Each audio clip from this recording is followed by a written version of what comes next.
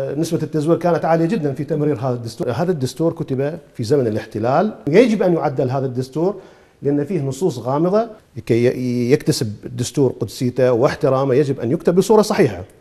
يجب أن يكون دستور متكامل. يكتب من رجال القانون من قبل فقهاء القانون. يكتب في ظروف سياسية أمنية مستقرة للدول. لكن ما حصل أنه هذا الدستور كتب في زمن الاحتلال كتب من لجنة الدستور غالبيتهم دعنا نقول 90% من أعضاء لجنة كتابه الدستور هم ليسوا بقانونيين هم جاءوا بفكر سياسي محملين بمآسي الماضي وبأعباء الماضي وبالخوف من المستقبل وكتبوا الدستور على وجه العجالة وتم تمريره.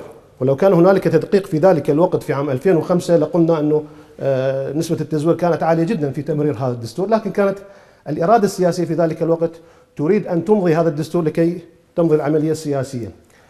اليوم يعني الصوت المرتفع من قبل السلطة القضائية الممثلة برئيس مجلس القضاء الأعلى يعني جاءت مكملة لكن لها دور وأهمية كبرى. يعني هذه المنادات يعني منادات على مر السنين من قبل رجال القانون وفقهاء القانون أنه يجب أن يعدل هذا الدستور لأن فيه نصوص غامضة نصوص فضفاضة قابلة للتأويل أكثر من مرة وحسب المصالح السياسية وهذا ما حصل. وحتى النصوص التي لا تقبل التأويل حتى خرقت الدستور العراقي هو دستور جامد لا لا نقول إنه مستحيل التعديل لكن هو يعني صعب التعديل على اعتبار انهم وضعوا اشتراطات في المادة 142 كما أشار لها الضيف الكريم، المادة 42 اشتراطات إنه عدم اعتراف ثلثي ثلاث محافظات وأن يمرر بالاستفتاء.